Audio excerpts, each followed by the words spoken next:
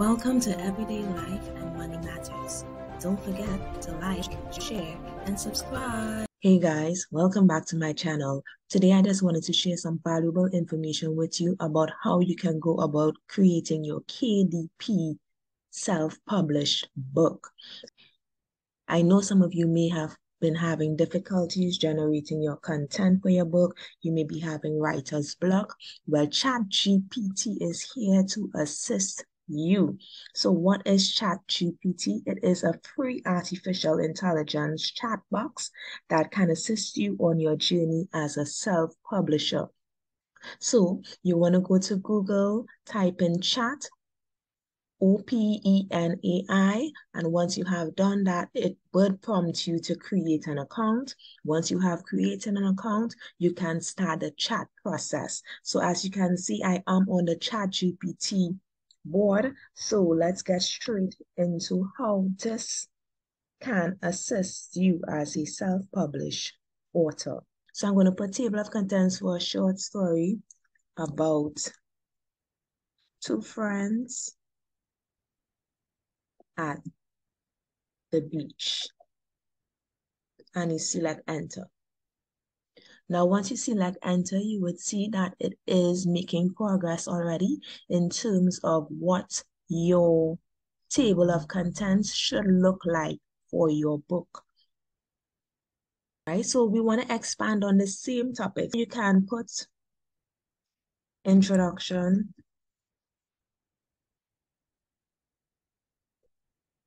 for main characters in storybook about two friends at the beach. And you select enter. And you will have to scroll down and as you scroll down, you would see that we have an introduction. So already, guys, I am so interested in this storybook and these main characters. So you are getting the ideas you need to develop the content for your self-published book. So where you may be stuck or where you need to generate additional content for your book, chat OpenAI is available to assist you so let's look at another avenue that we can use this form of artificial intelligence to create a self-published book. So let's say you want to create a book about leadership in your country or country leaders rather.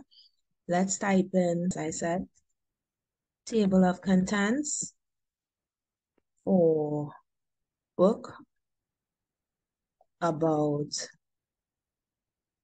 leaders in, let's see, Africa. And you select enter. And you can see it's generating the information for you already, right? So this helps to make your task easier in terms of layout, in terms of what you should include and what you should not include in your self-published book. And just like the first option, you can go through the table of contents and see what is being suggested. And then you can ask for guidance or information relative to a particular point. So let's just put in profiles about current leaders. Let me put contemporary. Contemporary leaders in Africa. And again, you press enter. And to see what it's generating, you can simply scroll. And as we see, we are getting the information immediately.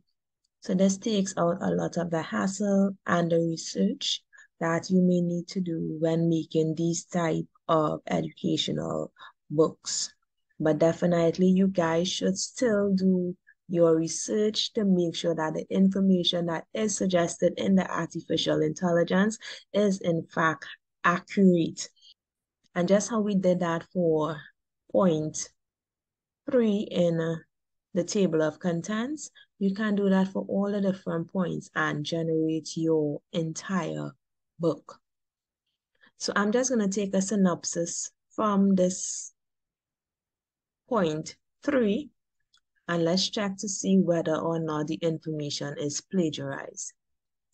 And we're just going to paste the content into the box and say select check plagiarism.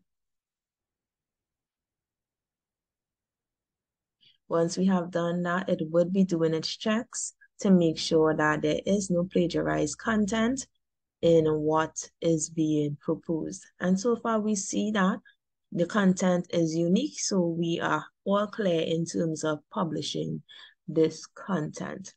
So we're going to head back over to the main page that we were on, right? Once you are here, we're going to go back to the text box and we're going to look at another avenue that you can use this artificial intelligence for. Create crossword puzzle words or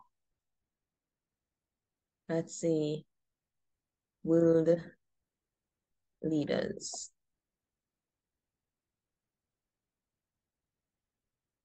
And you select enter.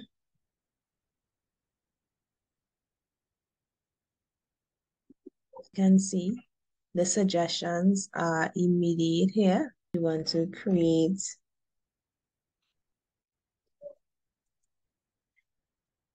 a puzzle. let's not say puzzle, create a word search for animals.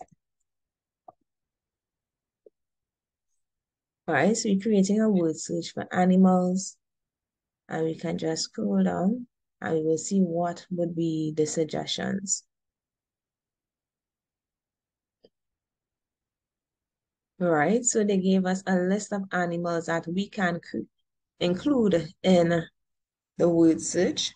So this again makes it easier for us to generate our low content books in word search, in crossword puzzles, and if we are doing short stories.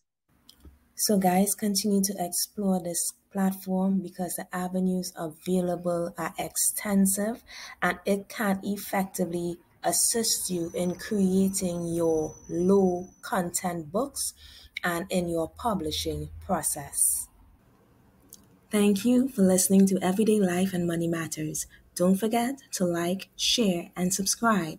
Drop a comment and click that notification bell so you can be alerted of all our videos. Thanks for viewing.